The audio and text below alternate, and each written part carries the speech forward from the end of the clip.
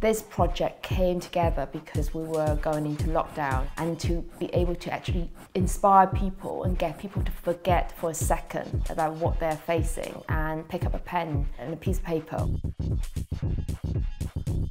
Submission from the project was incredible. I mean, we received over 10,000 pieces of artwork and all of them were so willing and it was all incredible.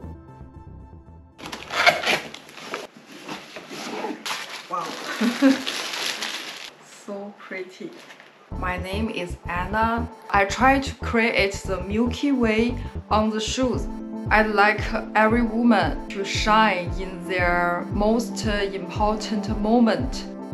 I try to choose the materials that can reflect the multi-dimensional glamour and then I try to sketch. I'm very grateful that uh, Jimmy Choo brought my dream to life.